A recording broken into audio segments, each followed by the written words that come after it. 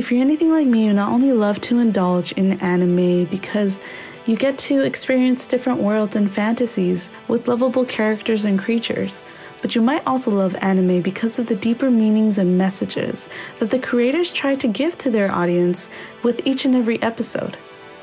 One anime that has variety of messages and deeper meanings behind it is Full Metal Alchemist Brotherhood.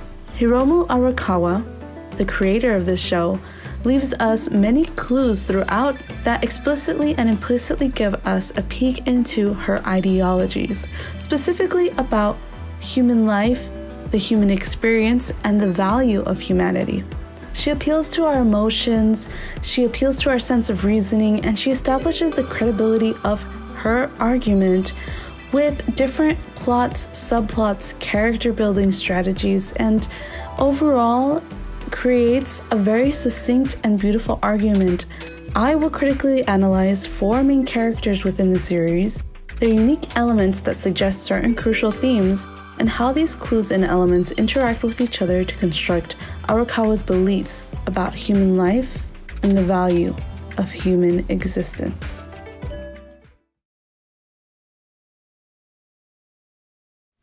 Full Metal Alchemist Brotherhood is an action adventure animated series that aired in Japan from April 2009 to July 2010. The show revolves around two brothers, Alphonse and Edward Elric, who live in a fantasy world where the fictional use of alchemy is the most advanced form of science. Those who use it are alchemists, and they can manipulate their surroundings based on their knowledge of alchemy paired with hand drawn symbols referred throughout the show as transmutation circles.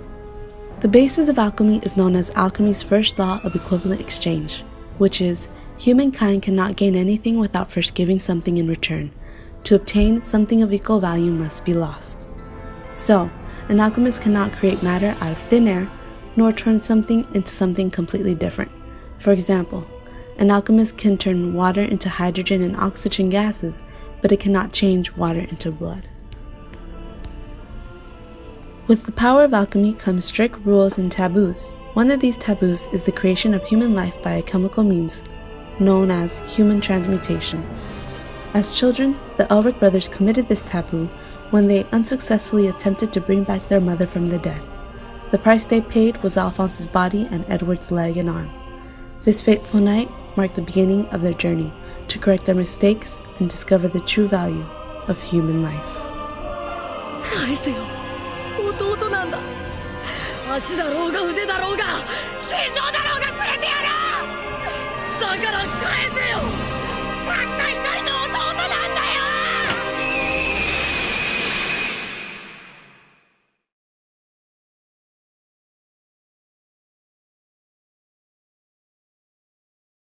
Love is patient, love is kind. It does not envy, it does not boast, it is not proud. It does not dishonor others, it is not self seeking, it is not easily angered, it keeps no record of wrongs. Love does not delight in evil, but rejoices with the truth.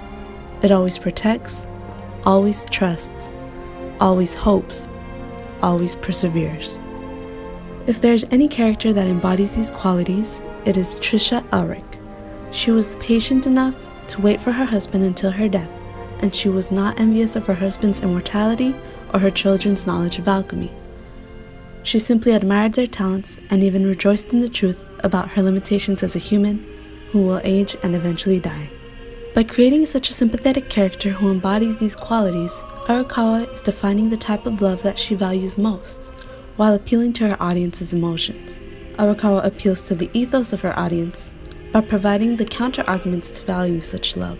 One of the arguments is that this kind of love is weak and drives humans to commit foolish deeds.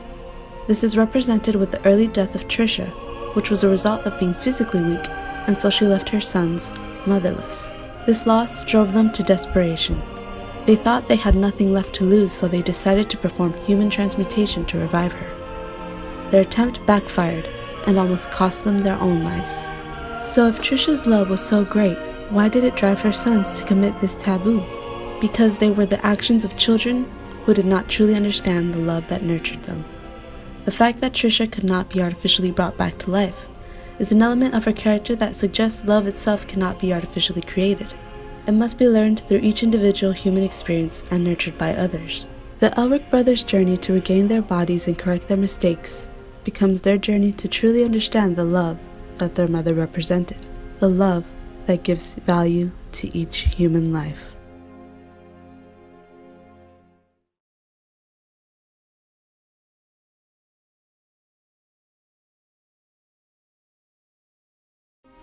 Nothing can become united with eternal and perfect life except that which is eternal and perfect.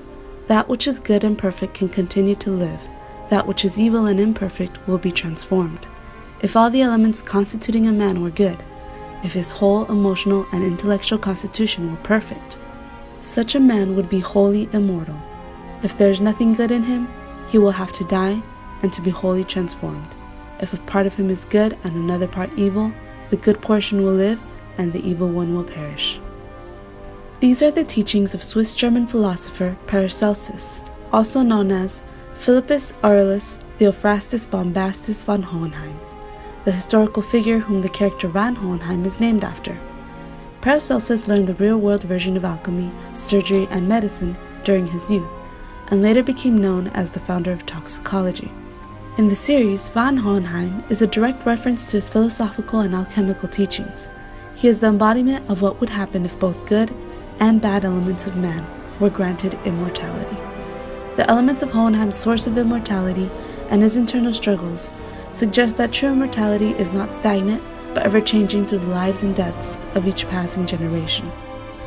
Hohenheim's source of immortality is revealed to be powered by the lives of 500,000 Xerxians, which is an element of his character that suggests how every immortal human life is part of the collective immortal life. By creating such a perverse version of immortality that is experienced through one human alone, Arakawa is able to distinguish it from the type of collective immortality that she values. Furthermore, Arakawa is able to present how she views death as a significant aspect to the value of human life. Throughout the series, the audience is allowed to view Hohenheim's inner struggles of defining his humanity while being stripped of the human quality of mortality. Hohenheim continually regards himself as a monster and other humans as weak because of this divide. This arrogant view of himself allows him to disassociate from any responsibility of being a part of the collective and therefore void of any responsibility to protect or cherish it. So, is he an arrogant, immortal monster? Does he lack the true human quality that could allow himself to be defined as a human?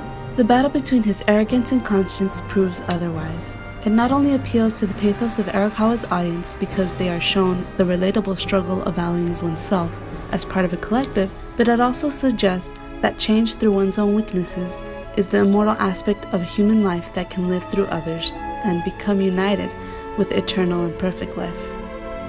Hohenheim is able to accept his role as a human when he accepts his own weaknesses. He may have had the power of over 500,000 human lifespans, but it wasn't until he understood the power of changing himself through the acceptance of his own humanity that he was able to live a fulfilling and mortal life.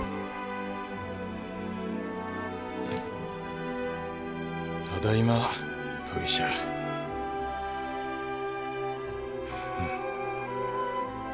エドワードが親父って呼んでくれたんだクソがついてたんだけどな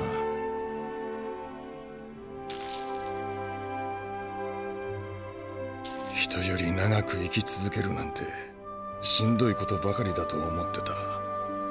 だけど君は息子たちに会えて生きててよかったと心から思えるようになった。充実した人生だった。そうさ十分だ。ありがとうトリシャ。ああ。でもやっぱり死にたくねえって思っちゃうなほんと俺ってしょうがねえな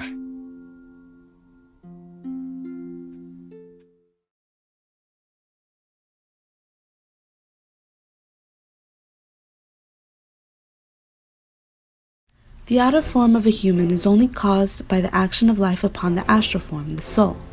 And if the exterior form is broken, the inner form still continues to exist and can, under certain conditions, be brought back again into contact with the remnants of the broken form, and thereby that form may be revived. As a soul that travels from flesh to metal and back again, Alphonse is the embodiment of this philosophy.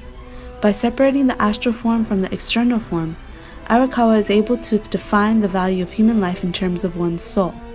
With the lack of a human body, Alphonse does not sleep, eat, or require any other form of physical pleasure. The stimulation and motivation for his life is in the bonds he shares with others, his dreams, his aspirations, his goal to regain his body, and his desire to help others. He is also compassionate, innocent, pure, and has many childlike qualities. He is quick to pick up stray animals, and despite his cold body, he seems to have the warmest heart of the two brothers. He has a strong moral compass and does not hesitate to make decisions according to his values. These values include the dignity for the self and for other forms of life. Arakawa's audience is able to relate to Alphonse not through his physical form, but through the emotional and mental expressions of the soul that he represents. This appeal to pathos allows Arakawa to present the definition of the soul as one that has the potential to carry these qualities. Arakawa appeals to the ethos of her viewers by presenting the counter argument to this definition of the human soul when Alphonse and Edward interact with Barry and number 48 in episode 8 of the series. These characters are in the same fleshless state as Alphonse, but are murderers who do not carry the same moral compass or compassionate soul. So, can they too be regarded as human, or are they monsters who should cease to exist? Even though they are completely opposite to Alphonse's character, Arakawa still considers them every bit as human as he is. Arakawa expresses this through Edward's reluctance to kill number 48, who laughs at being treated as a human in his metallic condition, when he was considered a murderous monster in his past human form. She appeals to the logos of her audience when Edward goes on to say that if he did not consider number 48 as human, then by default, he would consider his own brother as inhuman. By defining Alphonse as human through an appeal to pathos, she can persuade her audience to accept murderers as also being human through this logical approach. So, what about Alphonse is human if it is not his compassion or emotions? To answer this question, Arakawa challenges Alphonse's humanity when Barry suggests that Alphonse might be an armored doll with fabricated memories that Edward created. Although Alphonse states that he is indeed human, Barry laughs and asks, How can you be so sure? With Barry's confrontation, Alphonse starts to doubt even his own memories and whether he fulfills the requirements to call himself human at all. It isn't until the next episode when it is revealed that Alphonse shares memories with others that he does not share with Edward are his doubts clear. If Edward had fabricated Alphonse's memories, then sharing memories with others without sharing them with Edward would not be possible. This realization implicitly states Arakawa's view on human existence as a shared experience. The fact that these bonds and memories cannot be fabricated through alchemical means suggests Arakawa's interpersonal perspective of the human soul. The soul's will to live, Powered by its bonds with others, is one of the aspects that renders it priceless and imperative to human life and existence. ウィンリィをお嫁さんにするのはどっちって喧嘩もした。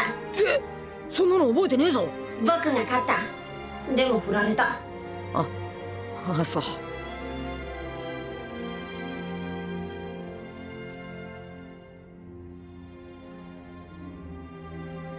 全部嘘だっていうのかよ。ごめん。どんなことしても元の体に戻りたいって。あの気持ちも作り物だっていうのか。作り物じゃない。そうだ。絶対に二人で元に戻るって決めたんだ。どんどん前へ進むぞ。前へ進んで喧嘩も心ももっと強くなるぞ。牛乳は？飲む。うんなるべく。もっともっと強くなろう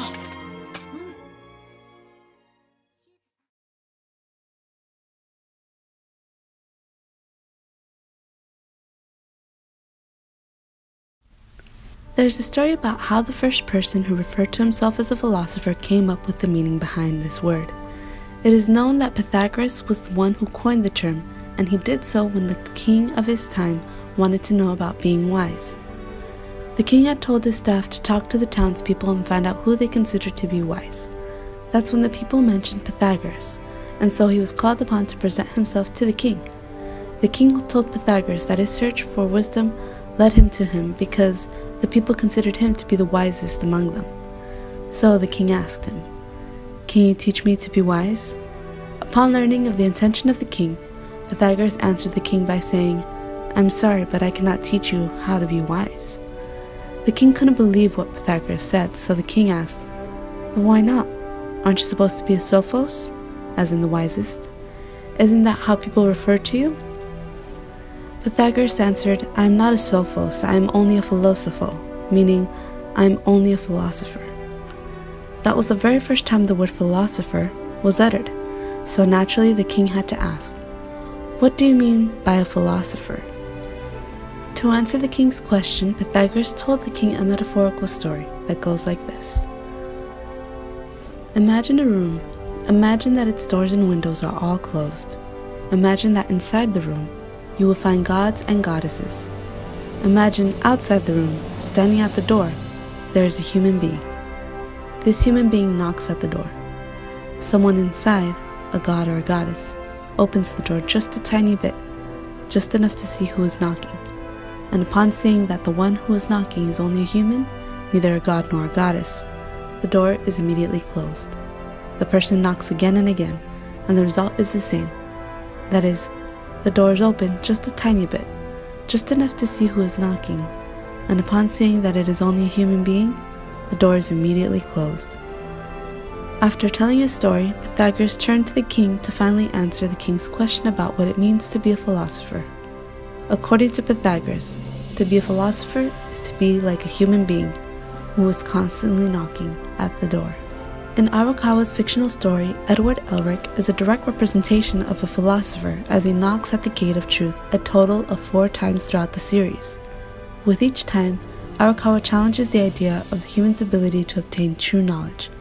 Instead of becoming closer to his goal of obtaining the power of truth, he is faced with the limitations of his own human perspective. Edward's dependence and glorification of alchemy to covet its truth and power is what caused him, in the beginning of the series, to seek the answers to all his problems through alchemy. He thought there was an absolute truth that holds all the answers to his own weaknesses and shortcomings. When he finally realizes that there are more ways of discovering truth and that an absolute truth that he alone can understand does not exist, he gives up his access to it by exchanging his gateway of truth for his brother's body. Through Edward's philosophical development and personal growth, Arakawa is expressing her own value of the truth through one's own experiences and limitations as part of the value each human life holds. 二度と錬金術を使えなくなるぞそうだな確かにこの扉の向こうには錬金術の全てがあるでもおかげで踊らされたよ真理とかいうものを見せられて錬金術で全てを解決できると思い込んだだけどそれは間違いだった。ただの傲慢だ。錬金術の使えない。ただの人間になり下がるのか？なり下がるも何も。最初からただの人間だ。君らにされた女の子一人助けられない。ちっぽけな人間だ。いいんだな本当に。それがなくても。エド鋼の。エドワード君。エドエドワード・エロリック。エドエド。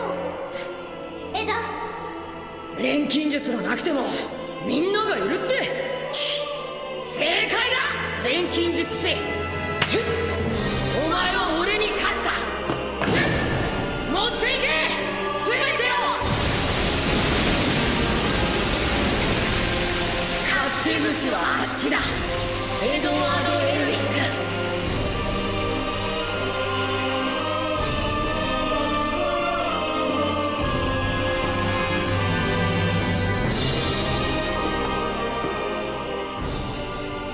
無茶しやがって。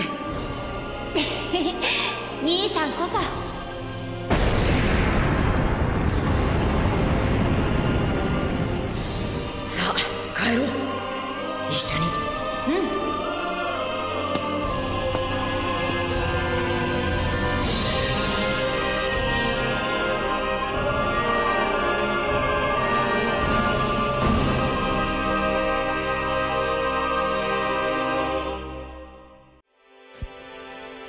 So, with all four characters, we have the Elric family, Trisha not only being the mother, but also our representation of love in this story and how it cannot be artificially created.